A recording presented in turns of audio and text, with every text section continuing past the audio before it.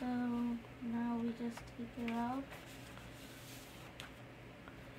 And over here, they just give you like a tiny folder. Congratulations.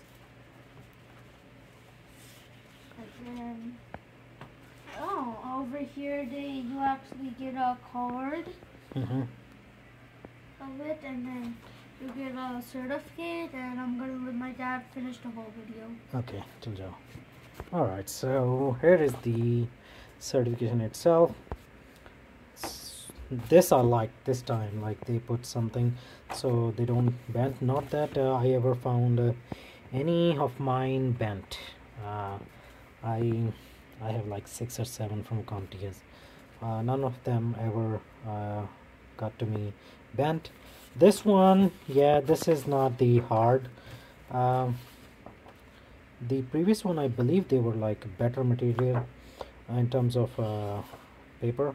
This one is just like low quality but that's PenTest plus. Uh, as usual there's a card.